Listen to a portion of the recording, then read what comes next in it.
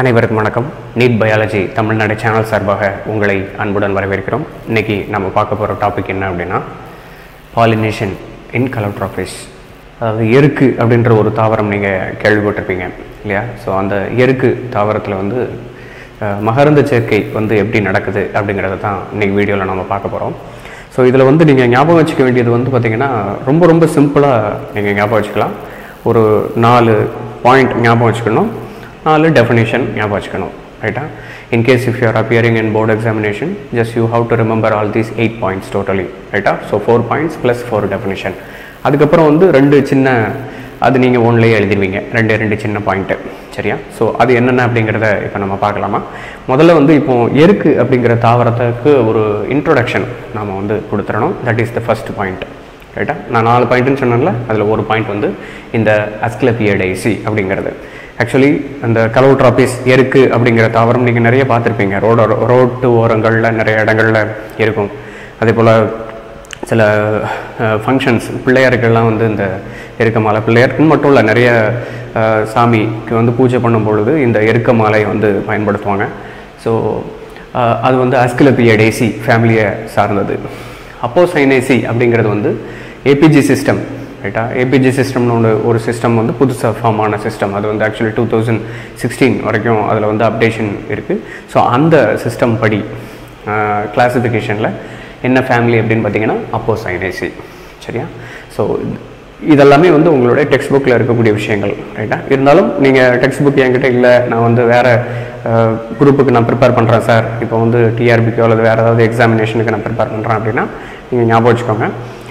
Text புக்கை வச்சு பார்த்தீங்க அப்படின்னாக்கா these are all the points it will be easily understand for you right so asclepiadaceae ரைட்டா second வந்து பார்த்தீங்கன்னா பைசெக்ஷுவல் பைசெக்ஷுவல் அப்படிங்கிறது இருபால் தன்மை கொண்டது அப்படின்னு சொல்லி படிச்சிருப்போம்.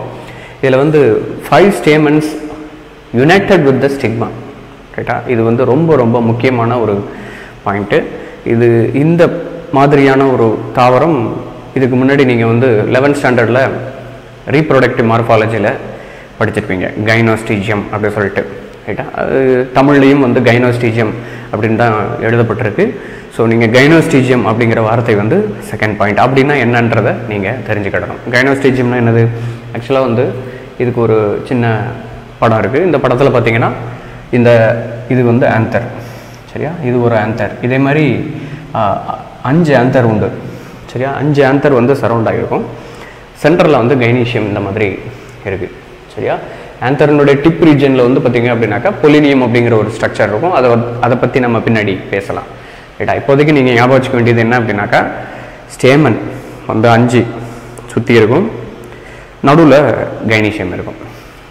இது வந்து அட்டாச்டு வித் ஈச் அதர் அப்படி இருந்துச்சு. அதாவது அதை தான் போட்டிருக்காங்க பாருங்க. ஃபியூஸ்டு டு ஃபார்ம் கைனோஸ்டீஜியம் எதெல்லாம்? ஆந்தரும் ஸ்டிக்மாவும் ஃபியூஸ் ஆயிருந்துச்சுன்னா. ஃபிலமெண்ட்டு அது கொஞ்சம் ஃப்ரீயாக தான் இருக்கும். சரியா? ஸோ இந்த மாதிரி ஸ்ட்ரக்சர் வந்து எப்படி இருக்கும் அப்படின்னா சாதாரண இது வந்து லைன் டயக்ராம் இது நம்ம வரைஞ்சது பாருங்கள் இதுதான் வந்து ஃப்ளவரில் இருக்கக்கூடிய ஸ்ட்ரக்சர் இந்த மாதிரி ஸ்டார் ஷேப்டு ஸ்ட்ரக்சர் இருக்கும். இதில் எருக்கன் செடியில் இருக்கக்கூடிய பூ இருக்கு இல்லையா? அந்த பூ வந்து எடுத்து பார்த்தீங்கன்னா உங்களுக்கு தெரியும். அதில் வந்து ஸ்டார் ஷேப்டு ஸ்ட்ரக்சர் இருக்கும். சென்ட்ரல் கைனிஷியம் ஓரத்தில் அஞ்சு பாயிண்ட்டில் ஆந்தர் வந்து அட்டாச் ஆகிருக்கிறத நீங்கள் பார்க்க முடியும். சரியா? ஓகே ஸோ இது வந்து செகண்ட் பாயிண்ட்டு கைனிஸ் கைனஸ்டிஜியம் ரைட்டா தேர்ட் வந்து என்ன அப்படின்னு பார்த்தீங்கன்னா stigma five angled receptors under side இது ஸ்டிக்மாவும் பார்த்தீங்கன்னா அதே போல் ஐங்கோண வடிவத்தில் இருக்குது அந்த ஐங்கோண வடிவத்தில் இருக்கிறது வந்து என்ன அப்படின்னு பார்த்தீங்கன்னா அந்த ஸ்டிக்மா தான். ஆனால் ஆன்சர் வந்து அந்த ஓரத்தில் அந்த அஞ்சு எண்டினுடைய ஓரத்தில் ஆன்சர் இருக்கும். சரியா? அதை இன்னொரு தட்டி நான் சொல்லிடுறேன். ஆக்சுவலி ஐங்கோண வடிவத்தில் இருக்கிறது அந்த ஸ்டார் ஷேப்பில் இருக்கிறது என்ன அப்படின்னு பார்த்தீங்கன்னா ஸ்டிக்மா தான். ஆனால் இதில் இருக்கக்கூடிய இந்த இடம் இந்த ஐங்கானத்தினுடைய அந்த ஸ்டாரினுடைய எண்ட் ரீஜன் இருக்கு பார்த்தீங்களா? அந்த எண்ட் ரீஜனில் வந்து இருக்கிறது வந்து ஆந்தர் சரியா? ஸோ ஆந்தர் அதுதான் வந்து தேர்ட் பாயிண்ட்டாக உங்களுக்கு கொடுத்துருக்குறாங்க. ஸோ ஃபர்ஸ்ட் பாயிண்ட் வந்து it is belonging to the asclepiadaceae family second point we are going to define the gynostegium ரைட்டா தேர்ட் பாயிண்ட் என்ன அப்படின்னாக்கா it is star shape that is pentagon shaped சரியா? பென்டகன் ஷேப் அதை வந்து எப்படி கொடுத்துருக்கு? பென்டகன்ன்ற வார்த்தை மென்ஷன் ஆகலை பட் வந்து five angled receptive under side அப்படின்னு கொடுத்துருக்காங்க. சரியா? ஃபைவ் ஆங்கிள்டு அப்படிங்கிற வார்த்தை தான் கீவேர்டு சரிங்களா? ஸோ மூணு பாயிண்ட் நம்ம முடிச்சிருக்கிறோம். நாலாவது என்ன அப்படின்னு பார்த்தீங்கன்னாக்கா each stamen has brightly coloured hood சரியா? ஹூடு ஹூடுக்கு வந்து தனியாக ஒரு இந்த டயக்ராம் நமக்கு இருக்குது ஸோ ஆக்சுவலாக வந்து ஒரு பிளான்ட்டில் ஃப்ளாராக இருந்துச்சுன்னா அதில் வந்து நாலு பார்ட் நமக்கு தெரியும் இல்லையா? என்னென்னலாம்?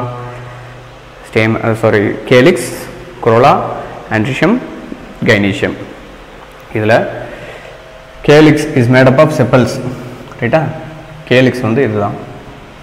கொரோலா எப்படி இருக்கும் அப்படின்னாக்கா இதுதான். சரியா?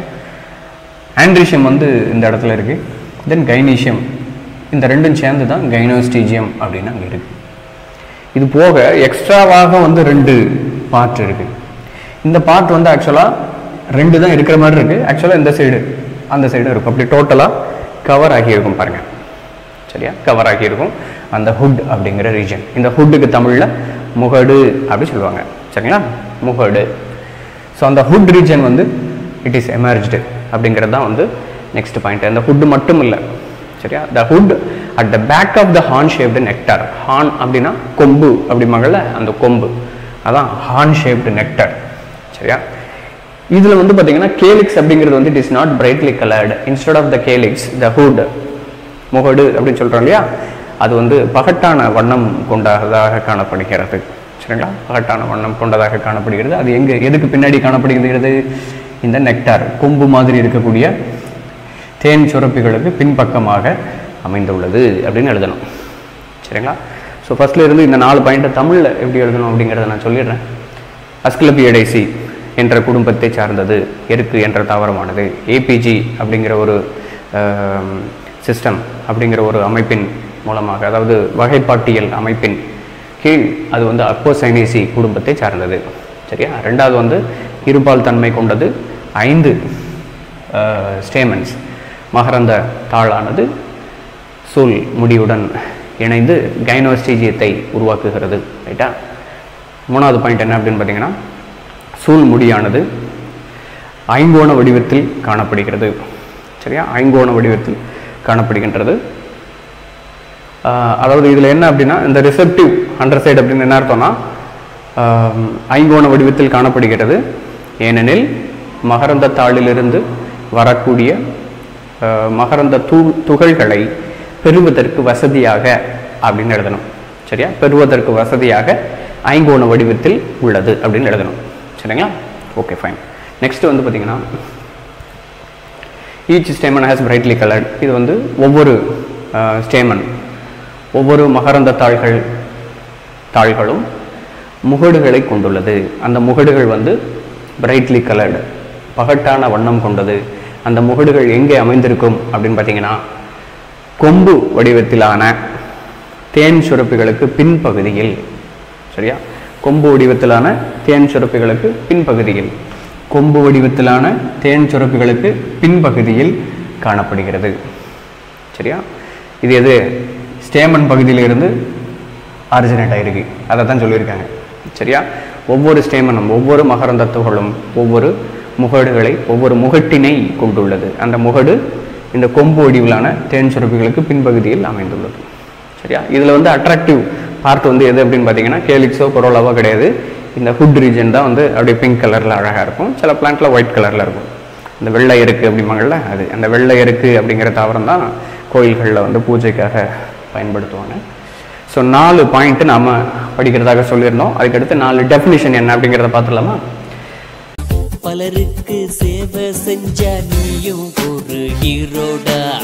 ஒரு கைப்பிடி சோறானாலும் ஷேரு செஞ்சு பாருடா.